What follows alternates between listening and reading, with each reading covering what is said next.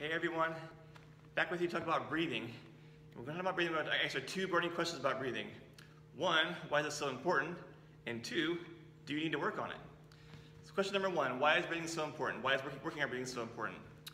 Do you know the average person actually breathes 20,000 times a day? 20,000 times a day. That's a lot of breaths in one day. Something you do that often and that regularly is very important to do it well. We all agree that oxygen is one of our primary fuel sources. We need it for, to function for life. Um, if we're not, we don't know, we, we, take that for granted. So we take it for granted that breathing, we, we do it all day long, we're still alive, so we must be good at it. But we don't understand is that over the course of life, breathing patterns change. So if we get injured, get sick, stressed, all those things will actually change the way you breathe.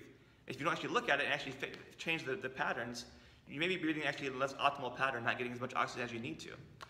So in general, it's very important to make sure you have good breathing function, function just for, health and for life.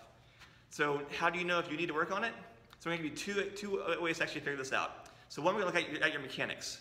So the easiest way to actually tell if you need to work on breathing is actually look at your own breathing patterns. So use your, you want to use your selfie phone camera or you want to use a mirror. What you want to do is you wanna call it a high-low breathing test. Going to put one hand on your upper chest, one hand on the bottom of your, of your rib cage, right above your, where your diaphragm would sit. You're going to take some nice, slow, deep breaths. So watch me first. We're going to breathe in.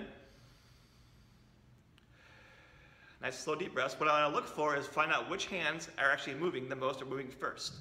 A normal, good breathing pattern breath should be my bottom hand moves first and gives me a full inhale.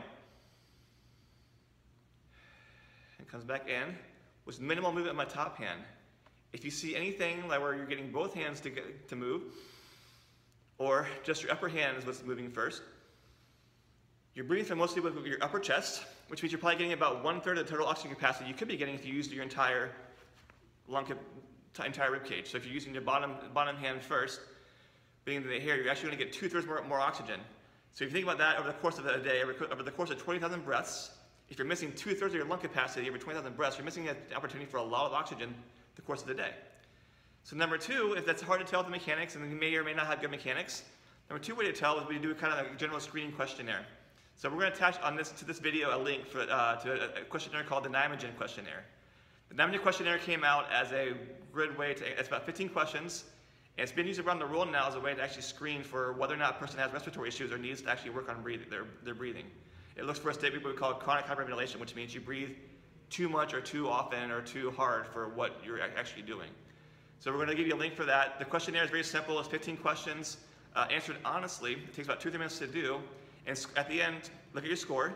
If you score over 23, it's an indicator that you may have some kind of respiration problem and you need to work on your breathing. So it's a very easy way to actually find, do I have some issues? Uh, could I actually be, be better?